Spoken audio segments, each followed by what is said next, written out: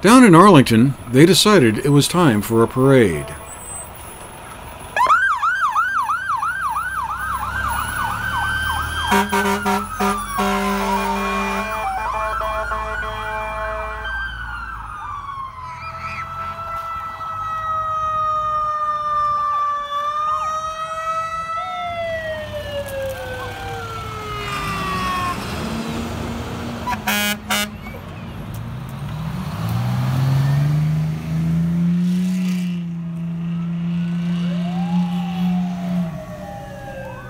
It being Teacher Appreciation Week, that made it the perfect time to celebrate the community and the schools, along with the teachers and educators who make them go.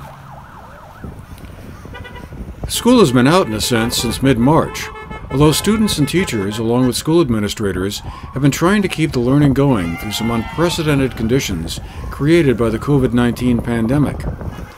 But everyone seems to miss the day to day interaction in the classroom so, to reinforce the connection between the school and the community, a parade was held Thursday, May 7th, starting from Arlington Memorial High School and Fisher Elementary School to celebrate teachers and educators. We had a chance to talk with Arlington Memorial High School Principal Sarah Merrill, Fisher Elementary Principal Deanne Lacoste, and School Superintendent Bill Bazyk about the parade. Pretty exciting. This is very exciting. It's a great uh, pick me up for the for our community, definitely, and it's a great way to celebrate our teachers. Uh, this week is Teacher Appreciation Week, so um, it's a great way to honor all of them to have the kids out to see them. So yeah, whose idea was it to uh, have this parade? How did it all So uh. I think it was during a staff meeting, a Zoom staff meeting, we decided that the kids were feeling a little down and we need to do something for them. And I think we needed it as much as they need it. So we're pretty excited about today, and it should be a ton of fun. It is. It's Teacher Appreciation Week. Um, everybody's been a little cooped up, not only with the quarantine, but the weather has not been, well, I guess it's been a typical Vermont spring.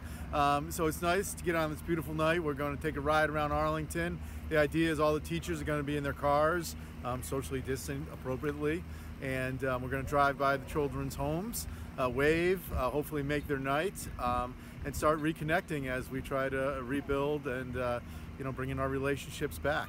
So we're very excited too, and I just want to thank not only Arlington teachers but all the teachers out there. Um, you know, uh, it's a, they're they're doing an incredible job in this pandemic, um, all throughout Vermont, and we're very lucky to have such dedicated people. The parade route wound its way through East Arlington and up to Sunderland, where the fire trucks, state police cars, ambulances, and other vehicles taking part in the parade turned around on Route 7A and headed back into Arlington, where it headed west on Route 313 to East Arlington before winding its way back to the Fisher Elementary School. There was a festive atmosphere in the air, along with a lot of noise, to counter the loss of the regular school routines for now and their hoped for return next fall. For the GNAT TV News Project, I'm Andrew McKeever.